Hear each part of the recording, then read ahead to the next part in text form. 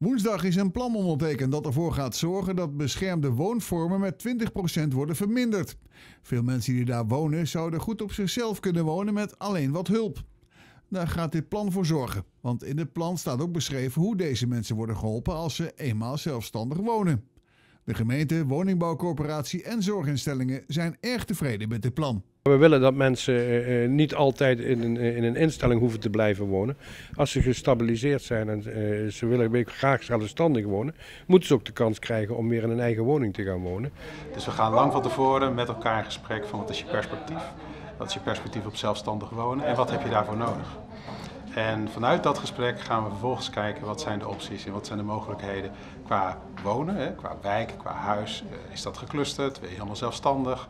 Waar wil je wonen? In welke buurt? In welke stad? Dus de gevolgen zijn dat wij uh, goed moeten nadenken, goed moeten uh, van tevoren moeten nagaan wat, wat is dan zo'n passende plek.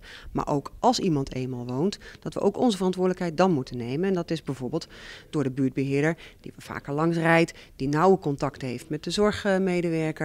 En uh, ja, proberen dat dat succesvol lang goed gaat. Het zal voor omwonenden nieuw zijn. Er komt een nieuw iemand wonen die ambulante zorg thuis krijgt aangeboden. Huisvesting voor deze mensen wordt verzorgd door de samenwerkende partijen.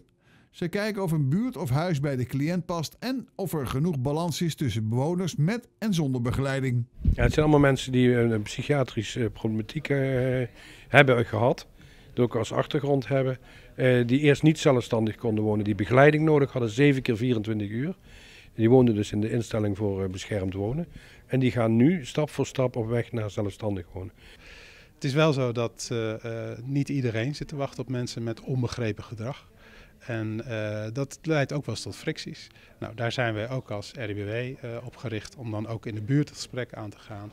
En met woningcorporaties van wat is er voor nodig om wel met elkaar goed samen te kunnen leven. Want die leefbaarheid in de wijken is net zo belangrijk voor onze cliënten als voor hun buren. En dat is waar we vandaag afspraken over hebben gemaakt, hoe we samenwerken in de wijk om iemand bij die overstap van beschermd wonen naar zelfstandig wonen zo goed mogelijk te begeleiden.